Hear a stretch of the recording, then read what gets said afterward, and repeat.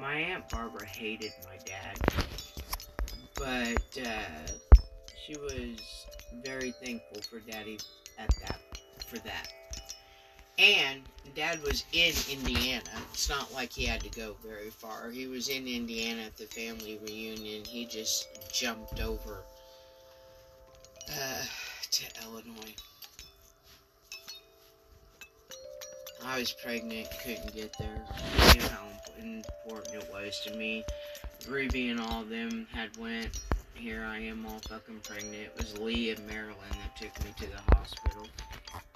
Um, the Cray coupon. Man, that pissed Aunt Barbara off. But Uncle Jim, Mom, Uncle Floyd, and Aunt Shirley all fucking died.